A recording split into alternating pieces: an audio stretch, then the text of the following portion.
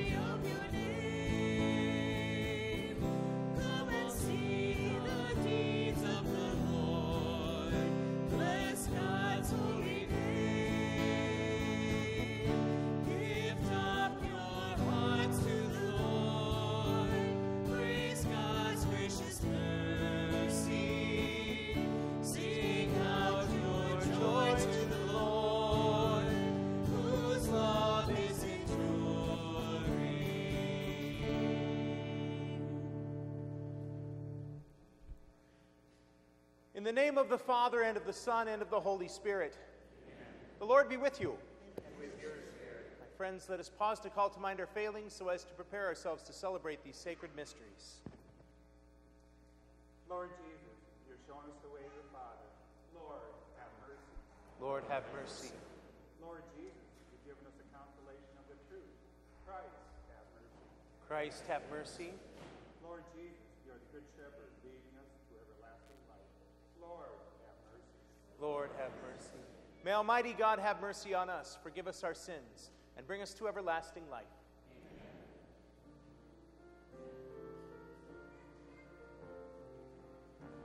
To God.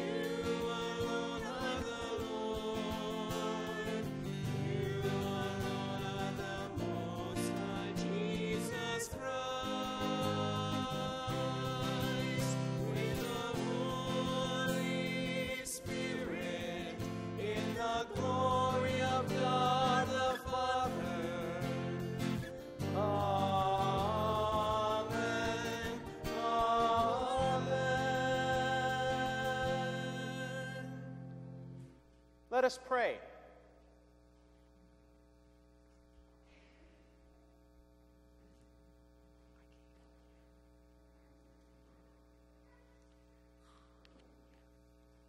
Grant, we pray, Almighty God, that we, who believe that your only begotten Son, our Redeemer, ascended this day to the heavens, may in spirit dwell already in heavenly realms, who lives and reigns with you in the unity of the Holy Spirit, one God, forever and ever.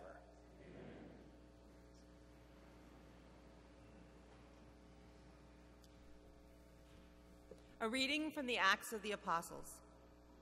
In the first book, Theophilus, I dealt with all that Jesus did and taught until the day he was taken up, after giving instructions through the Holy Spirit to the apostles whom he had chosen.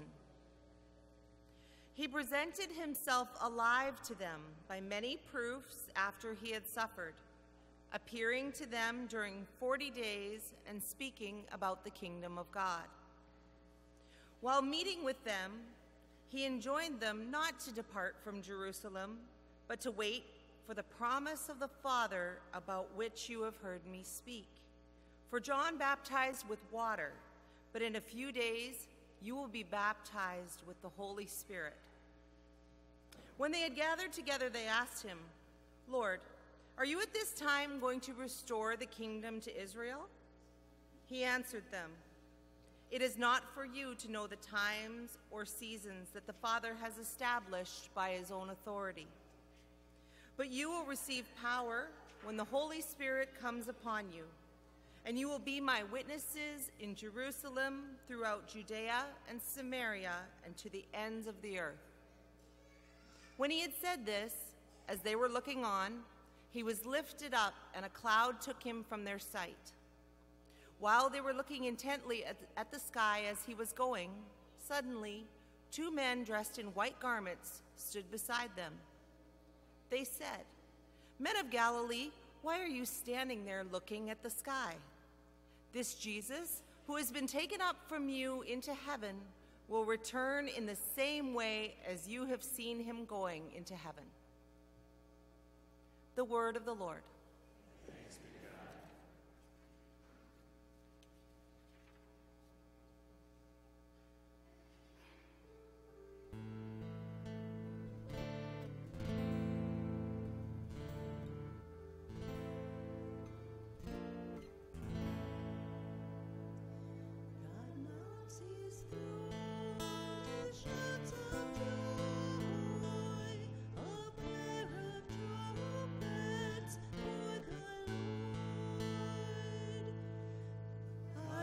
Mounts his throne to shouts of joy, a blare of trumpets for the Lord. All you peoples, clap your hands. Shout to God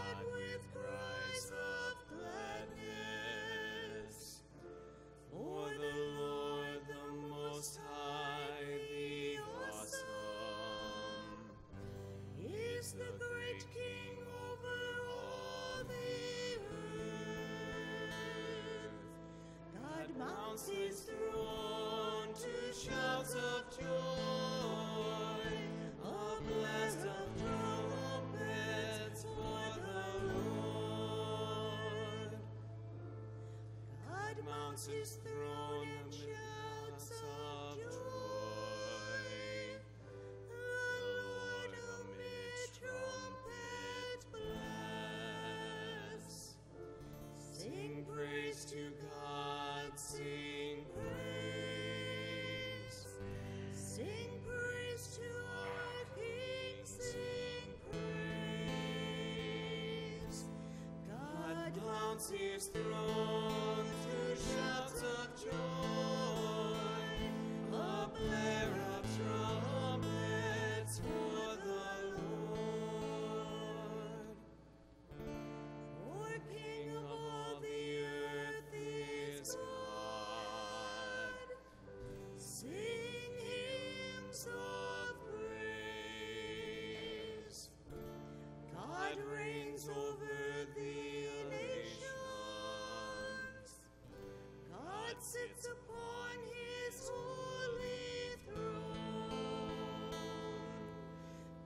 God his to shouts of joy, a blare of trumpets for the Lord. A reading from the letter to the Hebrews. Christ did not enter into a sanctuary made by hands, a copy of the true one, but heaven itself, that he might now appear before God on our behalf. Not that he might offer himself repeatedly as the high priest enters each year into the sanctuary with blood that is not his own. If that were so, he would have had to suffer repeatedly from the foundation of the world. But now, once for all, he has appeared at the end of the ages to take away sins by his sacrifice. Just as, it is appointed that men and women die once, and after this the judgment, so also Christ, offered once to take away the sins of many, will appear a second time, not to take away sin, but to bring salvation to those who eagerly await him. Therefore, brothers and sisters, since through the blood of Jesus we have confidence of entr- entrance into the sanctuary by the new and living way he opened for us through the veil, that is, his flesh, and since we have a great priest over the house of God, let us approach with a sincere heart and in absolute trust, with our hearts sprinkled clean from an evil conscience and our bodies washed in pure water. Let us hold unwaveringly to our confession that gives us hope, for he who made the promise is trustworthy. The word of the Lord. Thanks be to God.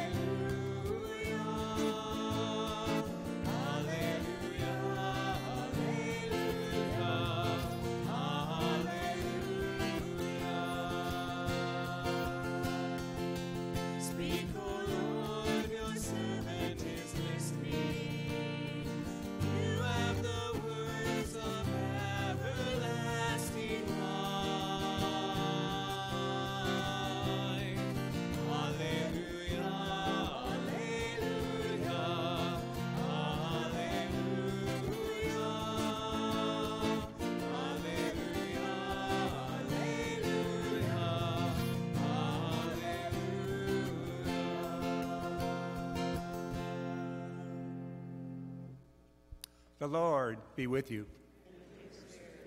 A reading from the conclusion of the Holy Gospel according to Luke. Glory to you.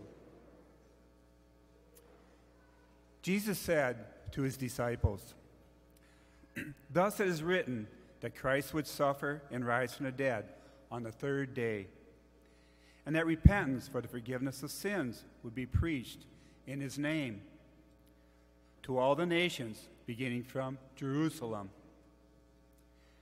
You are witnesses of these things. And behold, I am sending the promise of my Father upon you. But stay in the city until you are clothed with the power from on high.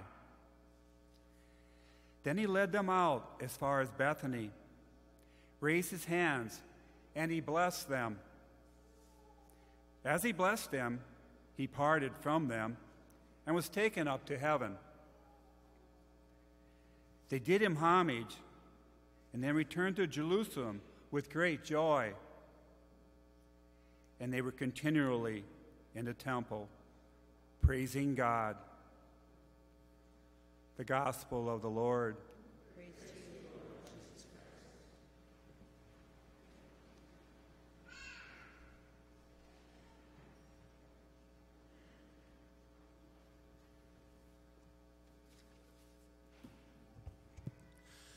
Friends, peace be with you. On the recent senior trip during our time in New York, we spent some time at the 9 11 memorial. It was a very emotional and memorable stop for me for one reason or another. And definitely a good reminder of all of the events that happened on that very fateful day. I was reminded, for instance, of the events of American Airlines Flight 93, the one that crashed in Pennsylvania. It was the last plane to be hijacked and the one on which the passengers and crew fought back, or at least the one that were aware that it happened, causing it to crash before it was intended, before its intended target, which might have been even the White House. We might remember hearing that one of the passengers, named Todd Beamer, was talking to a customer service representative for Airfone, the people who managed the very primitive air, air telephones that they had on, the, on board the plane, telling her that they had been hijacked and informing her of everything that had happened. And then later on, telling her that there was a group that were going to storm the cockpit. Right before it all took place, as the phone lay basically with um, this woman and uh, the CIA listening in, he said, Let's roll. Both the Gospel of Luke and the Acts of the Apostles were written by the same author, by a person called Saint Luke. We know this because in the beginning of each of these books, he addresses the writing to a, the same person whose name is Theophilus. The name means lover of God, so it, it might be more of a pen name than an actual person, but who knows? It also could be an actual person named lover of God, Theophilus.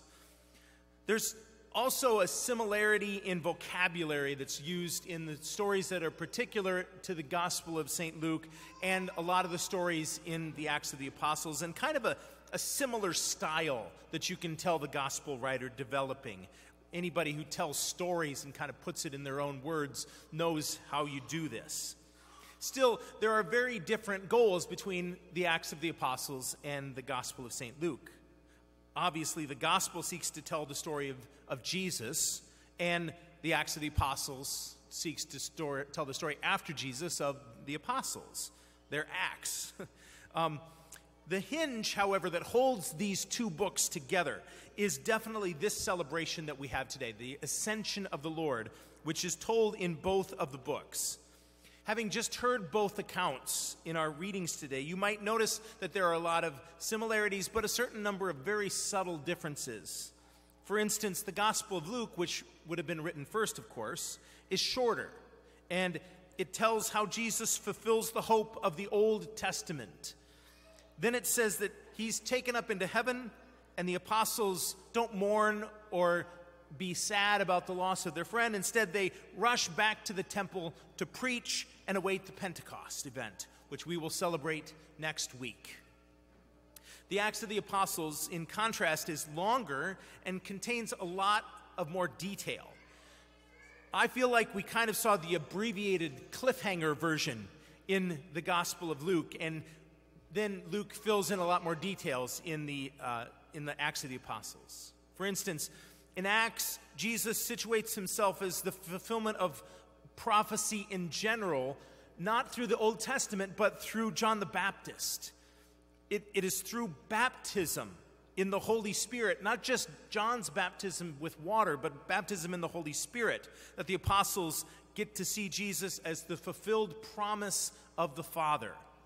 Then Jesus clarifies for his followers that he will be that they will be given power to be witnesses to Jesus. They aren't given a political power or a kind of physical power, but gifts or charisms of healing and, and other gifts that are supposed to be used in service of the community, which is now the body of Christ on earth. Both accounts are strikingly vague on what the ascension actually looked like, which you would think there would be a certain number of surprising details, given that it's not every day you see somebody ascend to the Father. Acts says that a, a cloud came and took Jesus up to heaven, but the Gospel of Luke doesn't even mention anything about the cloud. You'd think St. Luke would give us more than just a cloud well, as he's filling in details. For instance, Was he flapping his arms as he went up to heaven? Or was he concentrating really, really hard as he went up to heaven? Or, or the opposite, was he just relaxed? Or was he just standing there with his arms by his side? We have no clue. Did he stay vertical the whole time? Was it kind of like, like being beamed up in Star Trek? Or, or did he sort of lay out flat at some point, like God is restfully taking his son up into heaven? Inquiring minds want to know the answers to these questions. Still, possibly the reason why we don't get an answer to this question is what St. Luke says next. Because in the Acts of the Apostles, we hear that there were two angels standing next to the apostles. And they ask a very pointed question Why are you looking up into the sky? Now, as we hear about these two apostles, we might think about what happened seven weeks ago at the resurrection of Jesus, when in this same Gospel of Luke, two angels appeared to the women, and they also asked a very pointed question Why do you seek the living among the dead? It was a good thing for us to reflect upon then, and a good thing for us to reflect upon now. But similarly, these two inquisitive uh, angels ask a slightly different question. They ask, uh, why they're looking up into the sky. After all, Jesus has gone up to heaven, but will return the, like he has gone away. We're not to await a virgin birth in Bethlehem. There won't be a child wrapped in swaddling clothes laying in a manger when Jesus comes again. No, he will come back in the same way he went away in a cloud, fully grown, a dressed adult man. So the question the angels ask that's good for us to reflect upon today why are you standing there looking at the sky? Got really struck in my craw this week and, and made me wonder if maybe Tom Beamer asked that same question when he realized that his plane was hijacked. No more time looking out the window, it's time to act. After all, the disciples aren't just admiring the magnificence of nature and seeing God in that magnificence like we might do while walking along the bluffs of the Mississippi here they were looking up into the sky, hoping that Jesus would come right back, like it was a short elevator ride up and back to heaven. But that's not the time, but there's no time for that. The work of God is too pressing to sit staring into the sky. Plus, he just told them that it's going to happen in God's time, not in theirs. I think we all have times when we wish God would hurry up and do something for us.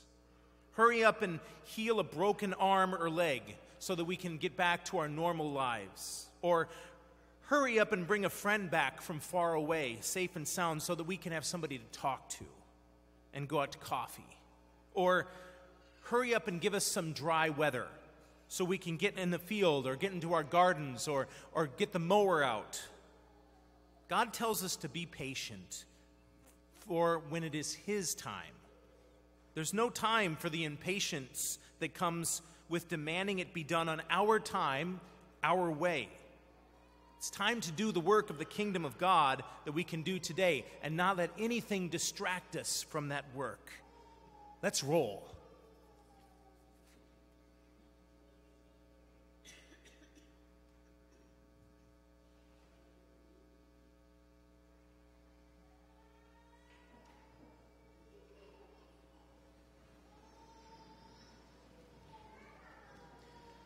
During this Easter season, we continue to profess the Apostles' Creed or the Baptismal Creed, which you can find on page 10 of your Breaking Bread hymnal.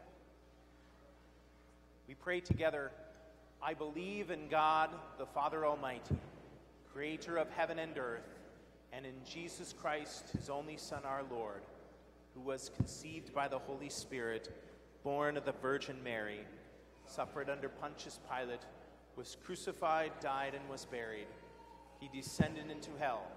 On the third day, he rose again from the dead. He ascended into heaven and is seated at the right hand of God, the Father Almighty. From there, he will come to judge the living and the dead. I believe in the Holy Spirit, the holy Catholic Church, the communion of saints, the forgiveness of sins, the resurrection of the body, and life everlasting. With faith in his loving mercy, we call upon the Lord to hear our needs and to respond to us with his great love. For the church on earth, the body of Christ. May the Spirit of the Lord inspire us as faithful disciples. Let us pray to the Lord. For leaders of the world, may God's Holy Spirit bestow upon them the gifts of counsel and fortitude. Let us pray to the Lord. For favorable weather for farmers and gardeners and those in construction, let us pray to the Lord. For those of those that are struggling in their faith, may God's grace offer them new hope and strength in the risen Christ. Let us pray to the Lord. For those in this faith community suffering any form of loss, may Christ's compassion and our love for them ease their grief. Let us pray to the Lord. For all the peoples of our parishes, the KC knights and ladies, and those being remembered in this Mass who have died, Judy Shecko and Alvina and Eldon Stillmunkes. May Jesus, who sits at the right hand, greet them and welcome them into the heavenly kingdom. Let us pray to the Lord. Lord, hear our prayer. Eternal Father, we ask you to hear the prayers of your children gathered here today through Christ our Lord. Amen.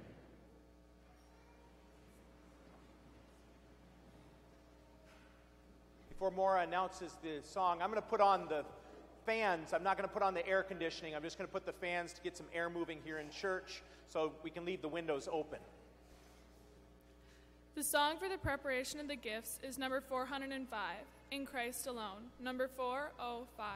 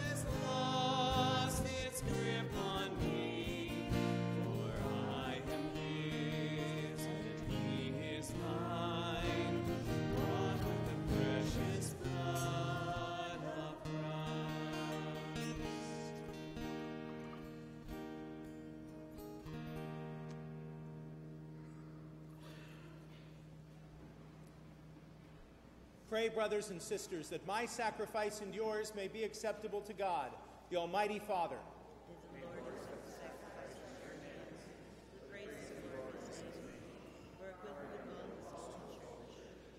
We offer sacrifice now in supplication, O Lord, to honor the wondrous ascension of your Son, Grant, we pray, that through this most holy exchange, we too may rise up to the heavenly realms through Christ our Lord.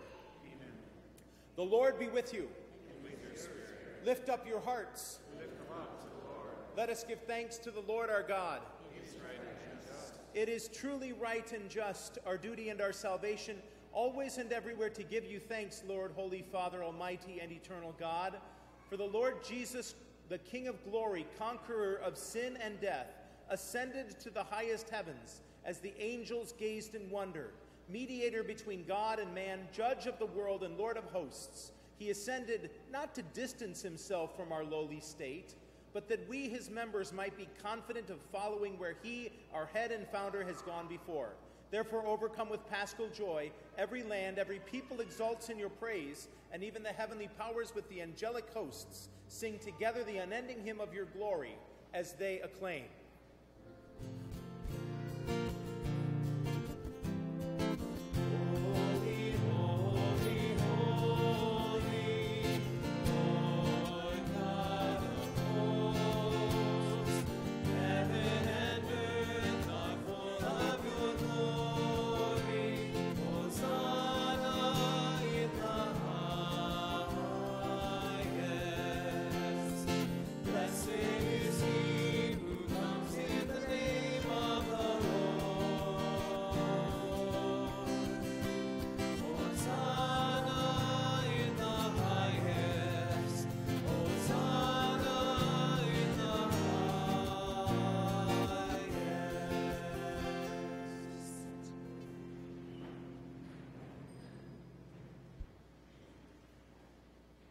To you, therefore, most merciful Father, we make humble prayer and petition through Jesus Christ, your Son, our Lord, that you accept and bless these gifts, these offerings, these holy and unblemished sacrifices, which we offer you firstly for your holy Catholic Church. Be pleased to grant her peace, to guard, unite, and govern her throughout the whole world, together with your servant Francis, our Pope, and Michael, our Bishop, and all those who, holding to the truth, hand on the Catholic and Apostolic faith. Remember, Lord, your servants and all gathered here whose faith and devotion are known to you. For them, we offer you this sacrifice of praise, or they offered for themselves and all who are dear to them, for the redemption of their souls, in hope of health and well being, and paying their homage to you, the eternal God, living and true. Celebrating the most sacred day on which your only begotten Son, our Lord, placed at the right hand of your glory our weak human nature, which he had united to himself and in communion with those whose memory we venerate, especially the glorious ever Virgin Mary, Mother of our God and Lord Jesus Christ, and blessed Joseph, her spouse, your blessed apostles and martyrs, Peter and Paul, Andrew, James, John, Thomas, James, Philip, Bartholomew, Matthew, Simon, and Jude, Linus, Cletus, Clement, Sixtus, Cornelius, Cyprian, Lawrence, Chrysogonus, John and Paul, Cosmas and Damian, and all your saints, we ask that through their merits and prayers in all things, we may be defended by your protecting help. Therefore, Lord, we pray. Graciously accept this oblation of our service, that of your whole family. Order our days in your peace, and command that we be delivered from eternal damnation and counted among the flock of those you have chosen. Be pleased, O God, we pray, to bless, acknowledge, and approve this offering in every respect. Make it spiritual and acceptable, so that it may become for us the body and blood of your most beloved Son, our Lord Jesus Christ. On the day before he was to suffer, he took bread in his holy and venerable hands, and with eyes raised to heaven, to you, O God, his almighty Father, giving you thanks, he said the blessing, broke the bread, and gave it to his disciples, saying, Take this, all of you, and eat of it, for this is my body, which will be given up for you.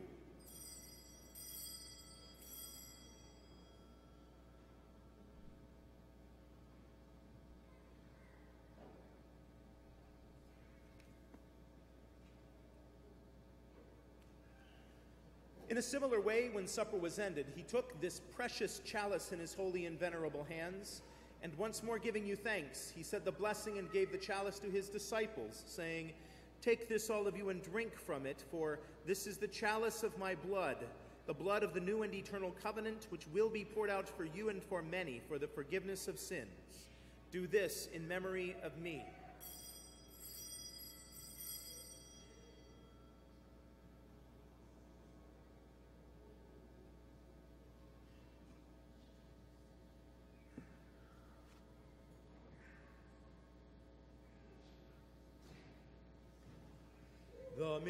Mystery of faith.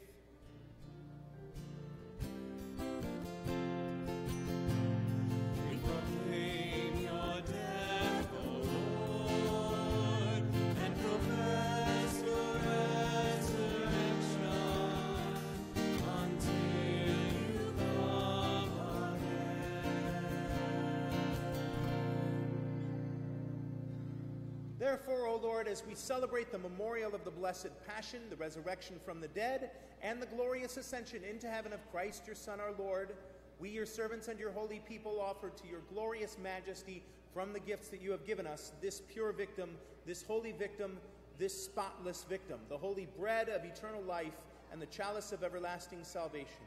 Be pleased to look upon these offerings with a serene and kindly countenance, and to accept them as once you were pleased to accept the gifts of your servant Abel the just, the sacrifice of Abraham our father in faith, and the offering of your high priest Melchizedek, a holy sacrifice, a spotless victim.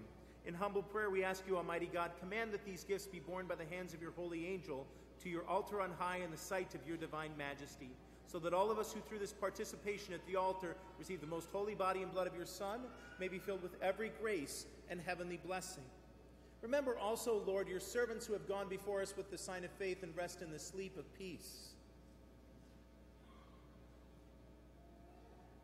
Grant them, O Lord, we pray, and all who sleep in Christ a place of refreshment, light, and peace.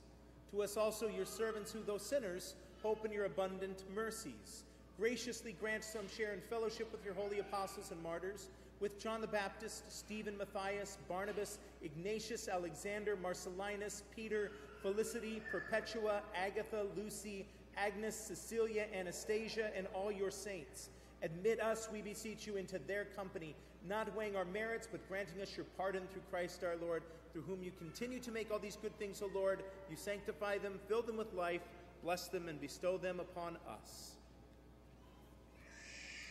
Through him and with him and in him, O God Almighty Father, in the unity of the Holy Spirit, all glory and honor is yours forever and ever.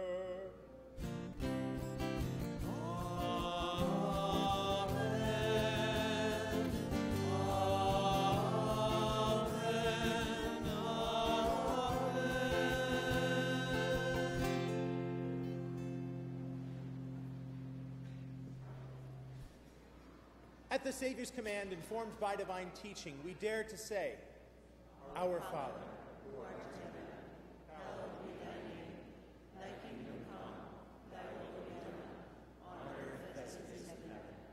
Give us this day our daily bread, and forgive us our trespasses, as we forgive those who trespass against us.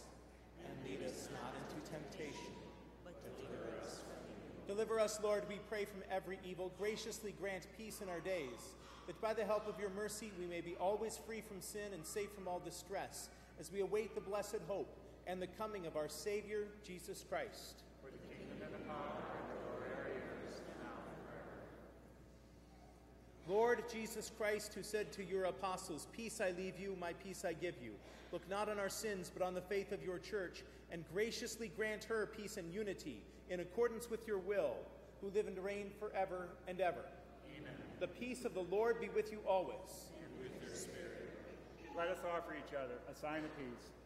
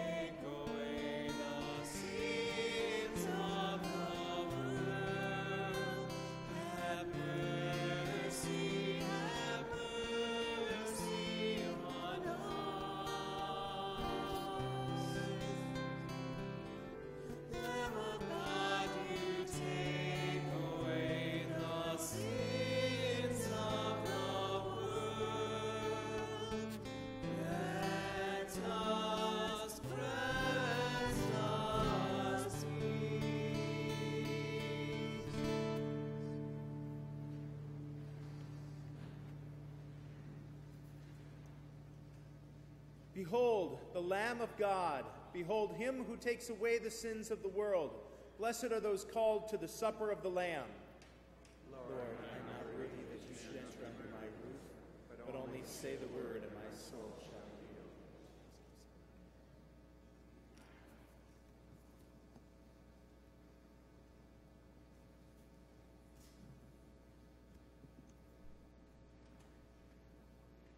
Body of Christ. Amen.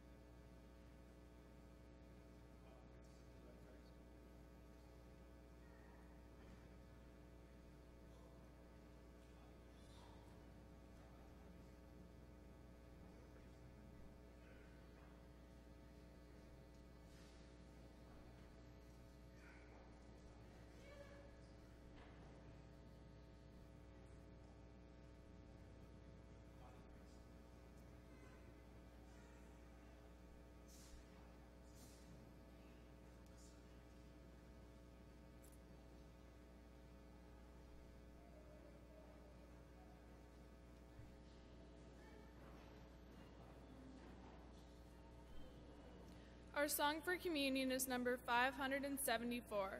Worthy is the Lamb. 574.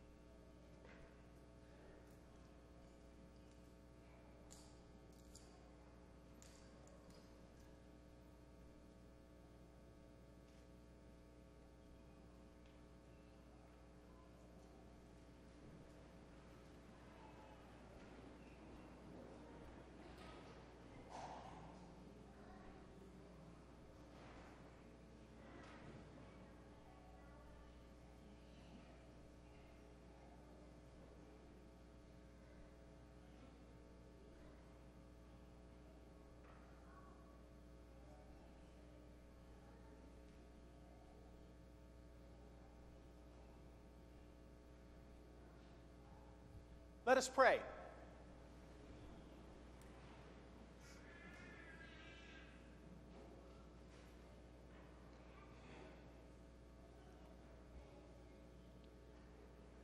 Almighty ever living God, who allow those on earth to celebrate divine mysteries, grant, we pray, that Christian hope may draw us onward to where our nature is united with you through Christ our Lord. Amen. We have a funeral coming up on Friday. Friday normally would be our time, first Friday of, of adoration, but because of the funeral, we're going to cancel the Mass and cancel the first Friday. However, there still will be adoration out at Saints Peter and Paul. Deacon Robert will be having that, but to help with the funeral, there won't be adoration. And then I'm gone on Saturday. I'm going to leave on Friday night and do a quick up and back to the Twin Cities. Um, so I won't be around for adoration on Saturday. But the church will be open if you need, if you'd like to pray. It'll be here, and the Blessed Sacrament, of course, is always in the tabernacle, so you can pray there. But we just won't have our normal, ordinary times of adoration. We'll pick it up again next week, the week after this, in other words. The Lord be with you. With your spirit. May Almighty God bless you, the Father, and the Son, and the Holy Spirit. Amen. The Mass is ended. Go in peace. Thanks be to God. Our closing hymn is number 572. This day was made by the Lord. Number 572.